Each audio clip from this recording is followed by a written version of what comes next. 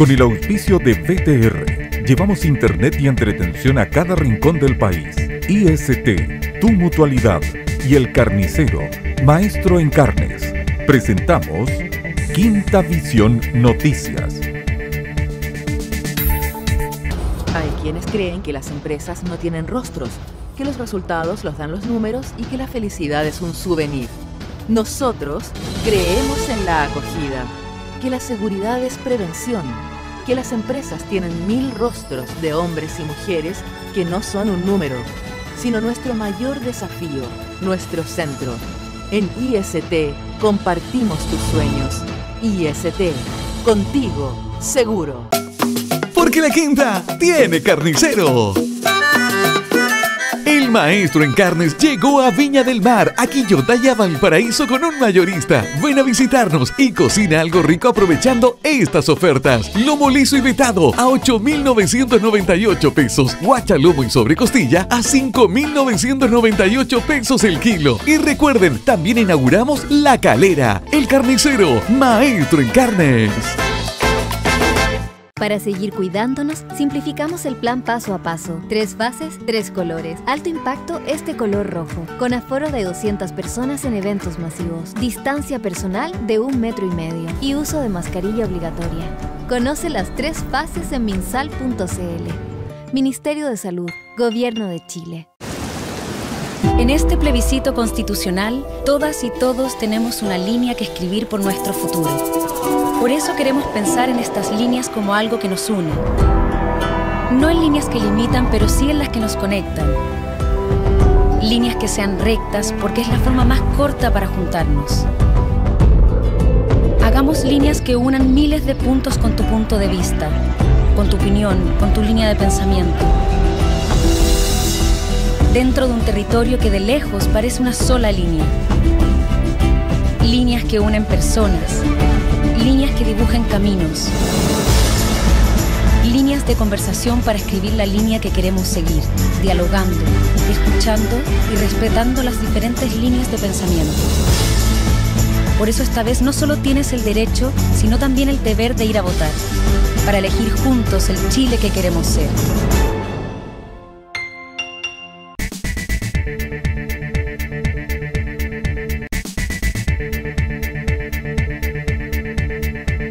Trece detenidos de la región dejó investigación por adquisición, almacenamiento y producción de material con abuso sexual infantil.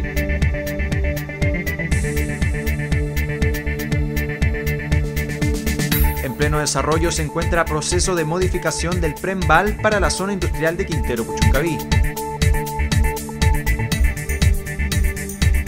Municipio impulsa campaña que busca crear en el comercio gastronómico espacios especiales para la lactancia materna.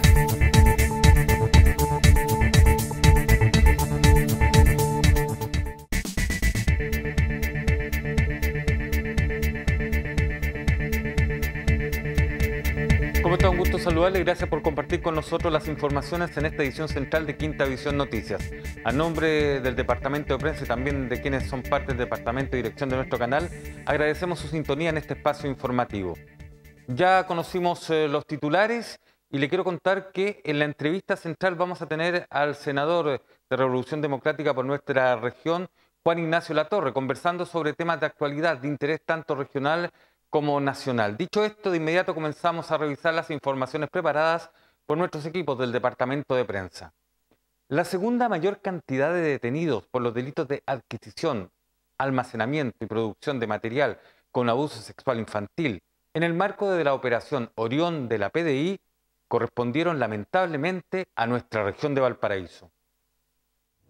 Un total de 13 de los 55 detenidos en el país, la mayor cantidad después de la metropolitana, corresponden a nuestra región de Valparaíso. En el marco de la Operación Orión, realizada durante julio del presente año por los delitos de adquisición, almacenamiento y producción de material con abuso sexual infantil que desarrollaron las brigadas de cibercrimen metropolitana, Valparaíso y Concepción, en conjunto con las brigadas investigadoras de delitos sexuales de la PDI. Respecto a el tipo de delitos, en un 78% de estas personas, el delito que se les imputó a la fecha es almacenamiento malicioso de material pornográfico de niños, niñas, adolescentes. Así también hay ya un menor número de casos hasta el momento, pero que se les ha imputado también su difusión o distribución eh, a través de Internet. Eh, también algunos, tal como se indicó, de producción de material pornográfico en la región de Valparaíso y asimismo también casos de aún más gravedad de violaciones o explotación sexual de víctimas menores de edad. operación realmente, lo quiero decir con toda la fuerza, es una operación, todas las policías del mundo están en esto, luchando para que, porque no importa solamente si la producción fue en Chile, lo que importa es que detrás de la imagen en alguna parte del mundo hay un niño vulnerable. Nosotros tenemos los contactos necesarios para que si esto suceda al otro lado del mundo, la policía al otro lado del mundo nos alerte para no poder nosotros reaccionar en nuestro país. El operativo implicó 70 investigaciones y 155 procedimientos de registro y revisión de dispositivos, lográndose incautar 2,2 terabytes de material, correspondientes a 25.613 videos y 222.577 imágenes con material de explotación y o abuso sexual de niñas, niños y adolescentes en Internet. Eh, hoy día nuestro compromiso ha sido hacernos cargo del, del crimen organizado, de las investigaciones complejas y esto está dando cuenta de ello. Resultados que después de cinco meses logran poner a disposición de la justicia en un trabajo coordinado, permanente, muy eh, eh, interrelacionado con, el Ministerio Público, poner a disposición a estos 55 autores de estos delitos en una u otra eh, condición. Por lo tanto, cuando se habla de la lucha contra el crimen complejo, el crimen organizado, no solo hablamos de narcotráfico, de lavado de activos, de contrabando, de tráfico ilegal de migrantes. Eh, hay dos delitos en los cuales tenemos que colocar especial atención por la gravedad en la vulneración de los derechos humanos de las personas.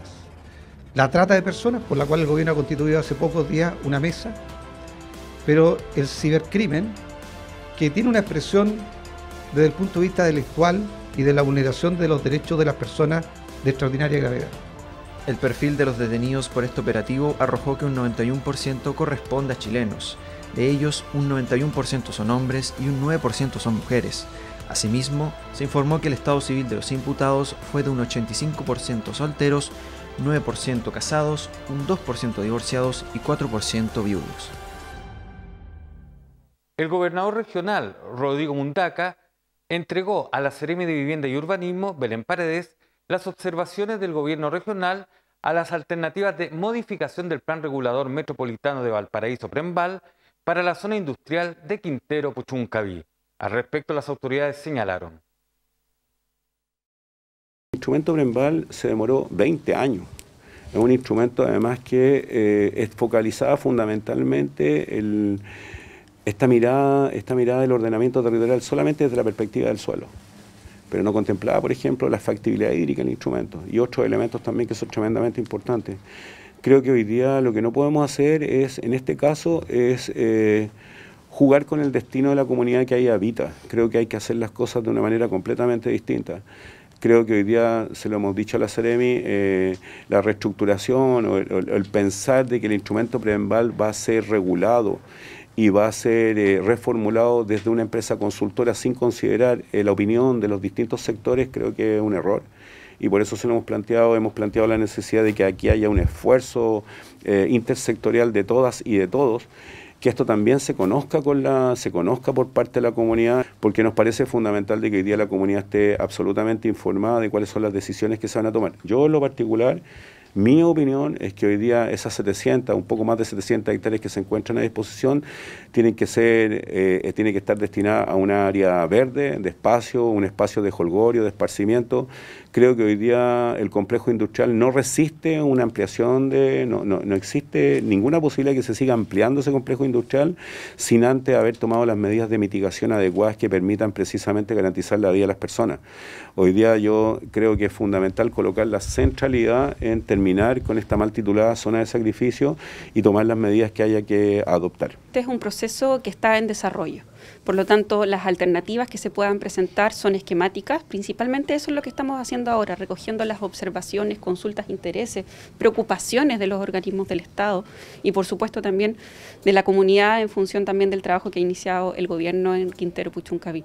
Por lo tanto, eh, en ese sentido y en ese trabajo se están recogiendo todas las, lo que se pueda señalar, la reconversión de los usos de suelo en función del áreas verdes, los elementos productivos y también un modelo de desarrollo distinto que va a construir finalmente lo que se establece por normativa en un instrumento de planificación, por supuesto en consulta con todos los organismos del Estado. Nosotros tenemos que ahora hacer, estamos retomando el proceso de presentación de las distintas propuestas eh, a la Comisión de Ordenamiento Territorial, cuestión que haremos la próxima semana, el trabajo con los municipios, con las alcaldías, que es muy importante, y por supuesto con las comunidades. A continuación, tras esta información, comenzamos a revisar eh, lo que fue el informe de la presente jornada con respecto a la pandemia a nivel nacional y regional. En nuestra región, los casos nuevos de contagio alcanzaron 1.222 mientras que la cantidad de personas eh, que se ha contagiado hasta la fecha corresponden a 396.684 en la región. También se informó de casos activos en la región de 3.532 personas, mientras que debemos lamentar a nivel regional nuevos fallecidos, me refiero a 15 personas, acumulándose a la fecha lamentablemente 5.931 personas que han perdido la vida producto de la pandemia. A nivel nacional, los casos nuevos de contagio por COVID-19 llegaron a 11.525, lo más alto de las últimas semanas, eh, acumulándose a la fecha 4.274.613 personas eh, que se han contagiado producto de la pandemia. También se entregó la cifra de casos activos a nivel nacional, las que alcanzaron en la última jornada 37.742 personas. Tenemos que lamentar 65 nuevas personas fallecidas por lo que en nuestro país hasta la fecha eh, ya van 59.698 personas que han perdido la vida producto del COVID-19. En cuanto al proceso de vacunación, este viernes 5 de agosto se realizará la inoculación para personas de 12 o más años que hayan recibido la primera dosis de refuerzo hasta el día 13 de marzo de 2022. Además, corresponderá la cuarta dosis para personas inmunocomprometidas que hayan recibido su dosis de refuerzo hasta el 10 de abril de este año. También para funcionarios del área de salud pública y privada que hayan recibido su dosis de refuerzo hasta el 10 de abril de 2022. Personas de 3 o más años vacunadas con la segunda dosis o dosis única hasta el día 10 de abril de este año. Y dosis de refuerzo para niñas, niños y adolescentes con esquema completo hasta el 10 de abril de 2022. También primera dosis para personas de 3 y más años con Sinovac o Pfizer. Segunda dosis a la población vacunada con Sinovac, AstraZeneca o Pfizer con al menos 28 días desde la primera dosis y mujeres embarazadas a partir de las 16 semanas de edad gestacional. Bien, y conocido entonces este informe de la pandemia entregado por el Ministerio de Salud para la presente jornada, seguimos con las informaciones en esta edición central de Quinta Visión Noticias. Este local apoya la lactancia materna, se denomina la campaña impulsada por el municipio de Limache y su área de salud, que busca integrar al comercio gastronómico en este ámbito en la comuna. Contar con diferentes espacios en la comuna que permitan sensibilizar la lactancia materna es el objetivo del municipio al integrar al comercio gastronómico local en las diversas acciones que se están implementando en Limache. La idea es contar con un espacio y prioridad de atención para que las mamás en proceso de lactancia se sientan acogidas. Para ello, sugieren lugares especiales dentro del local, además de contar con el sello que indica este local apoya la lactancia materna. Bueno, nosotros como la barra como Restaurante La Barra, nos sumamos a la campaña de la lactancia y también eh, habilitamos un lugar para que las mamás se puedan sentir más tranquilas o más a gusto para poder amamantar a sus hijos. Proyecto que se enmarca en la conmemoración comunal de la Semana Mundial de la Lactancia Materna, buscando comenzar este proceso de manera más amigable y que sea perdurable en el tiempo en locales comerciales justamente entregando información sobre la importancia de la lactancia materna. Esta es una semana donde estamos en el fondo conmemorando este hito, que es una virtud que tiene la mujer con el apego con su hijo. Y este espacio tenemos que cuidarlo en ese ámbito, en el ámbito de una comuna que se desarrolla y que piensa y que cree en la familia, que cree en el, vínculo entre madre e hijo, y obviamente este espacio viene a potenciar esa, esa idea. Esta iniciativa se sumó a la reciente inauguración de una sala de lactancia materna en el Cefal Limache Viejo, financiada con recursos del Programa de Promoción de Salud. Este espacio cuenta con todo el mobiliario necesario, como sillón, lavamanos y mesa de juegos, entre otros, y estará disponible de lunes a viernes de 8 a 20 horas y los sábados de 9 a 13 horas. Y se investiga hallazgo de cuerpo sin vida de un nonato de 7 meses de gestación en un sitio oriazo, aledaño a la ruta 60CH, durante la noche de este miércoles en la comuna de San Felipe. Al respecto, desde la Brigada de Homicidios de la PDI de los Andes se señaló. En horas de la noche, el fiscal de turno de la Fiscalía Local de San Felipe solicitó la concurrencia de esta brigada de homicidios hasta un sitio eriazo cercano a la población parracía de dicha comuna, por el hallazgo de un feto sin vida, el cual se encontraba en una especie de basural de dicho lugar. Al examen externo se determinó que éste tenía entre 6 a 7 meses de gestación, cuya causa de muerte será determinada por el Servicio Médico Legal de San Felipe. El hallazgo, según testigos, se produce cerca de las 21 a 30 horas, el cual se encontraba al interior de una caja de cartón. Por esta razón, que se continúan con las diligencias investigativas para establecer las causas y circunstancias de este hecho.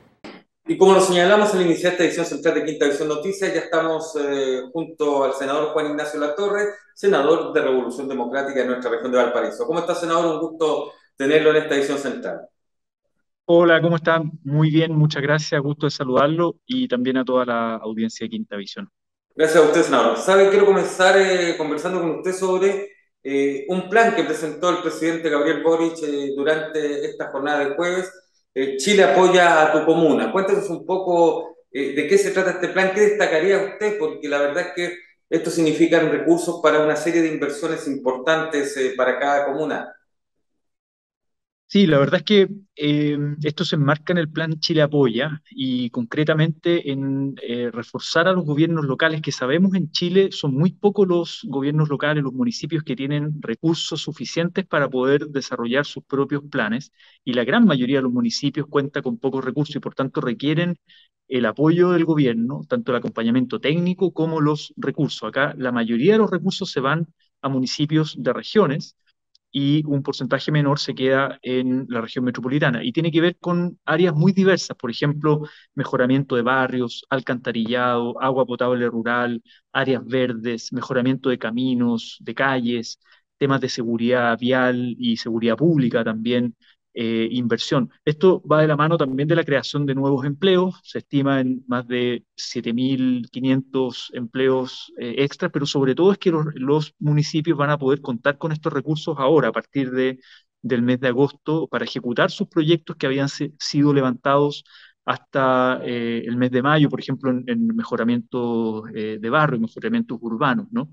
Em, creo que es una muy buena noticia, inyecta muchísimos recursos, eh, es algo que estaba comprometido en el programa y hemos visto también que ha habido problemas con la ejecución presupuestaria en algunas regiones y por tanto el municipio, que es el gobierno local de mayor proximidad a los vecinos, pueda contar con estos recursos para mejorar las condiciones materiales de vida de sus, de sus comunas. Ahora, hay un tema importante también dentro de este anuncio, senador, porque si bien hay un porcentaje de comunas urbanas, eh, hay un alto porcentaje también de comunas rurales, considerando, por ejemplo, en nuestra región, que claro, acá somos muchas veces transcentralistas, ¿no es cierto? Nos quejamos mucho del centralismo de la región metropolitana, pero en este gran Valparaíso, ¿no es cierto?, existe un centralismo hacia otras comunas de nuestra región, donde hay bastantes comunas que tienen este ámbito rural. Creo que eso hay que destacarlo también. Absolutamente, tiene mucha razón. A, nosotros nos toca recorrer eh, el interior, por ejemplo, y ellos se quejan del centralismo de la región de Valparaíso, que todo se concentran los proyectos, las grandes obras, inversiones públicas en Valparaíso, Viña del Mar o Marga Marga, pero, pero claro, tenemos muchísimas comunas, sobre todo comunas pequeñas también, sectores rurales, y ahí eh, temas de agua, agua potable rural, el acompañamiento a agua potable rural, los pozos, temas de energía para, para poder abaratar costos, que me ha tocado eh, recorrer varias instalaciones de, de las APR eh, y ahí se requieren recursos y muchas veces los municipios no cuentan con esos recursos. Entonces, también, o, por ejemplo, temas de mm, eh, iluminación, ¿no? De, iluminación en, en sectores eh, rurales. Entonces, ahí eh, efectivamente va a poder llegar, y como le decía, hay un porcentaje alto, si no me equivoco, es cerca del 70% de los recursos que se van a regiones. El resto se queda en la región metropolitana, que también tiene una diversidad y una desigualdad territorial importante. Este anuncio lo hizo desde San Bernardo el presidente, donde también hay una apuesta importante en una eh, inversión pública-privada con aguas andinas para eh, pozos de agua potable de buena calidad eh, en un contexto de escasez hídrico, es como una prevención para momentos de crisis hídrica y que, eh, si no me equivoco, llega a cerca de 500.000 personas, en el fondo, la posibilidad de tener agua potable de buena calidad suficiente para ese sector sur de la región metropolitana que es muy desigual territorialmente, mucha pobreza y además sectores semi-rurales también. Ahora, nuestra región está ubicada dentro de las cuatro que van a recibir mayor cantidad de recursos, así que eh, sin duda también a nivel nacional eh, es una buena cifra. Eh, reiterando un poco lo que dice usted, porque esto no solo significa, ¿no es cierto?, tener obras, sino que además significa crear puestos de trabajo que tanto se necesita en, nuestro país. Vamos a otro tema, ¿le parece, senador? porque también el presidente Boris anunció eh, el avance de la reparación para víctimas de las violaciones a los derechos humanos durante la revuelta social. Y sabemos que usted desde nuestra región ha sido un impulsor de muchos de estos proyectos. ¿Qué le parece justamente estos avances? No, mire, fue una ceremonia muy significativa en La Moneda, donde estuvieron presentes, bueno, la senadora Fabiola Campillay, mi colega, que además es víctima de trauma ocular, que ya quedó completamente ciega, también Gustavo Gatica, eh, y también muchos y muchas eh, personas de regiones, también de la región de Valparaíso, con víctimas de trauma ocular y sus familiares. Este es un, proceso que se generó eh, hace algunos meses en mesas de, diálogo, de trabajo con las agrupaciones desde el Ministerio de Salud, desde el Ministerio de Justicia y Derechos Humanos. Esto lo veníamos trabajando en la Comisión de Derechos Humanos del Senado en el gobierno anterior de, de Piñera, veníamos insistiendo cada año en la ley de presupuesto que había que mejorar los planes de reparación integral. No hubo mucho avance, no hubo mucha eh, voluntad política algo se avanzó en, términos presupuestarios, pero no un programa más completo y más permanente. También se firmaron las pensiones de gracia. Hay más de 200 personas con pensiones de gracia eh, que son permanentes de reparación y también una reparación que no es solo quirúrgica o mm, eh, de salud, por ejemplo, ocular, ¿no? De, por ejemplo, para el tema de las prótesis, eh, que obviamente es muy importante, o las operaciones, sino que también la salud mental. Acá hay personas que han quedado con traumas, eh, hay personas que también perdieron su fuente laboral, estaban trabajando en algo y no van a poder seguir trabajando en lo que se dedicaban antes, o estudios, y entonces esto implica una reparación mucho más integral que ha sido trabajada con los familiares, trabajada con las víctimas, se anunció este acompañamiento y, los recursos, que yo creo que es el inicio de empezar a sanar las heridas del estallido social, eh, hacerse cargo de las deudas en materia de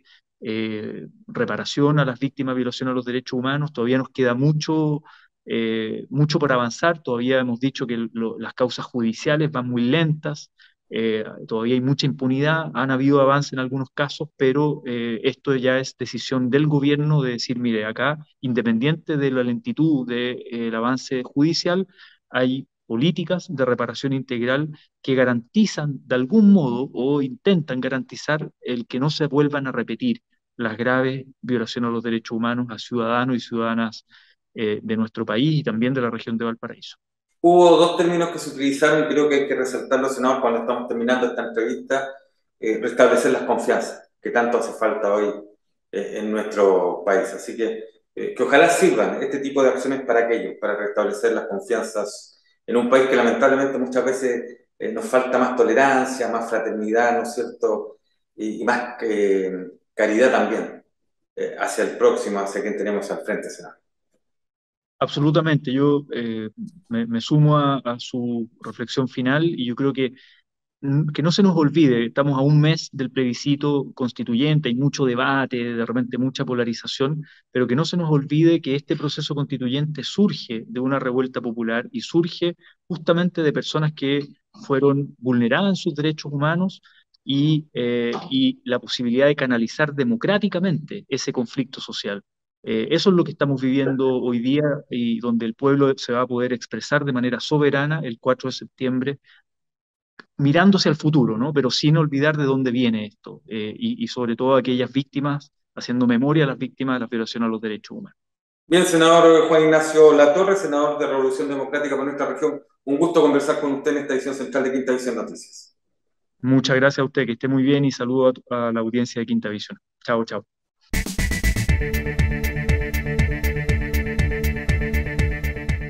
Y tras la entrevista con el senador de Revolución Democrática por nuestra región, Juan Ignacio Latorre, le tengo una muy buena noticia, porque fíjese que la quinta tiene carnicero. El maestro en carnes llegó a Viña del Mar, Quillota y también en Valparaíso con un nuevo mayorista, con las mejores ofertas. Lomo liso y vetado a solo 8.998 pesos el kilo. Guachalomo y sobrecostilla a 5.998 pesos el kilo. Y recuerden, también inauguramos en La Calera.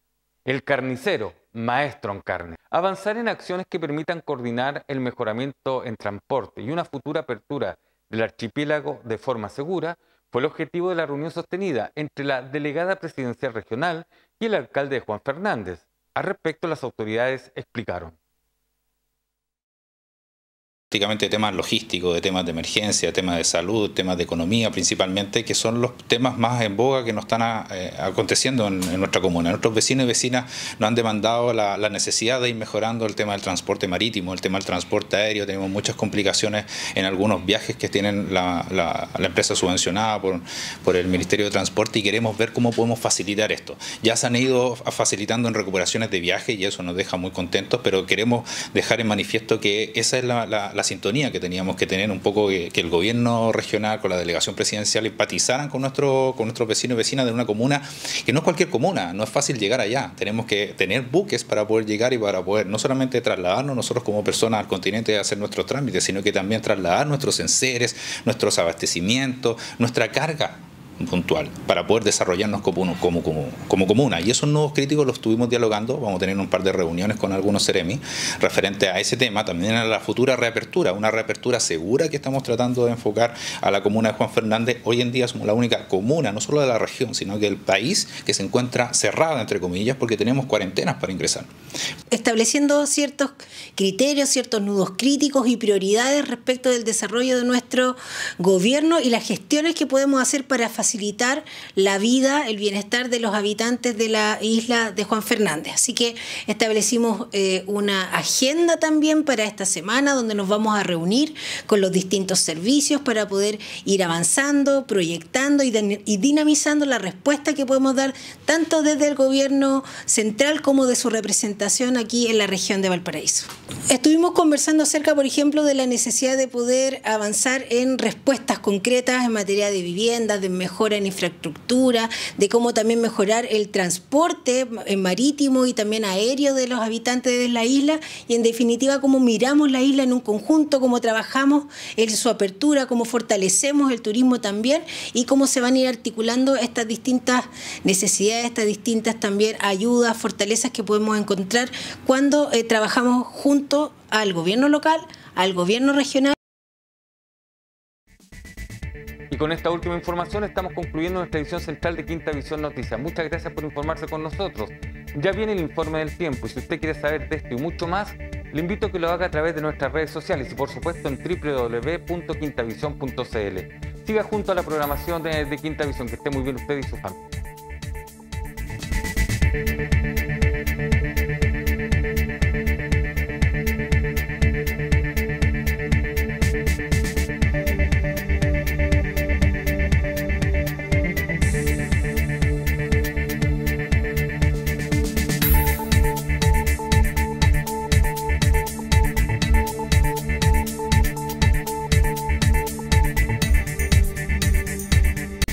Con el auspicio de BTR, llevamos Internet y entretención a cada rincón del país. IST, Tu Mutualidad y El Carnicero, Maestro en Carnes. Hemos presentado Quinta Visión Noticias. Hay quienes creen que las empresas no tienen rostros, que los resultados los dan los números y que la felicidad es un souvenir. Nosotros creemos en la acogida, que la seguridad es prevención que las empresas tienen mil rostros de hombres y mujeres que no son un número, sino nuestro mayor desafío, nuestro centro. En IST compartimos tus sueños. IST, contigo, seguro. Porque la quinta tiene carnicero. Maestro en carnes llegó a Viña del Mar, a Quillota y a Valparaíso con un mayorista. Ven a visitarnos y cocina algo rico aprovechando estas ofertas. Lomo liso y vetado a 8,998 pesos. Guachalomo y sobrecostilla a 5,998 pesos el kilo. Y recuerden, también inauguramos La Calera, el carnicero, maestro en carnes.